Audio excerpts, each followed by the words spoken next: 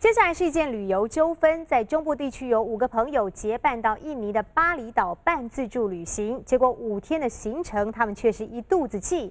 不但发现住的饭店跟网络上面的照片差很大，甚至有团员拉肚子也找不到紧急联络人来帮他处理。他们回国之后，立刻就向平保协会提出了检举。明明就是脏的，你看那个大的洗手槽，那是什么东西？洗手槽。半个月前的巴厘岛行，张小姐说起来还是一肚子气。和好朋友一起参加五人成行的 mini tour，一个人的团费三万多，不算便宜的行程。但噩梦就从住进度假村开始。淋浴间啊、浴室啊，反正你可能够看到的地方都是青苔，不然就是沙子，不然就是美。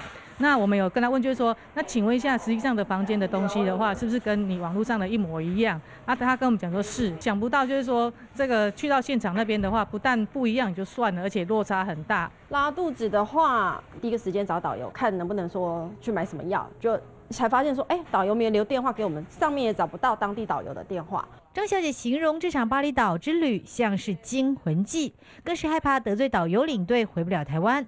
而这家号称有三十多年历史的旅行社，强调这团旅客住的确实是同等级的度假村，只是房型不同。台中市消保官则是提醒民众，遇上消费纠纷，拍照录影存证，日后才能讨回公道。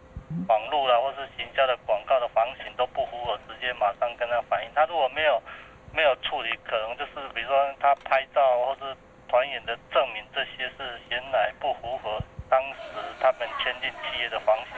不贪便宜，出国前契约写清楚。如果旅游业者愿意在广告 DM 上签字，更是旅游品质的最佳保障。即将进入春节旅游旺季，消保官也提醒民众，一旦发生争议、反应无效的时候，当下要记得搜证，事后向观光局或旅游品保协会申诉时，才能保障自己的权益。记者黄秋来世杰台中报道。